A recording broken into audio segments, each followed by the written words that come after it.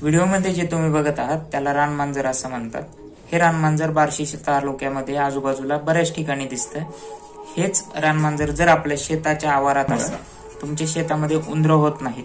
उंदीर नसल्यामुळे तुमच्या शेतात साप येत नाहीत. साप नसल्यामुळे तुम्हाला सर्पदंशाला सामोरे जाण्याचे चान्सेस खूप कमी आहेत. मग हे रानमांजर आपल्याला का दिसत नाही तर यांचे डोळे यांचे कान अतिशय तीक्ष्ण असतात. आणि याच तीक्ष्ण कानांमुळे या तीक्ष्ण डोळ्यांमुळे ते माणसापासून बऱ्याच लांब राहतात. जरी माणूस त्यांच्या आदिवासामध्ये गेला तर ते तिथून निघून जातात.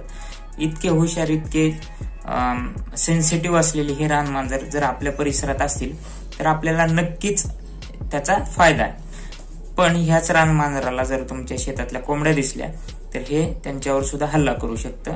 त्यासाठी तुम्ही त्या कोंबड्यांना या रानमांजरापासून थोडंसं लांब ठेवा.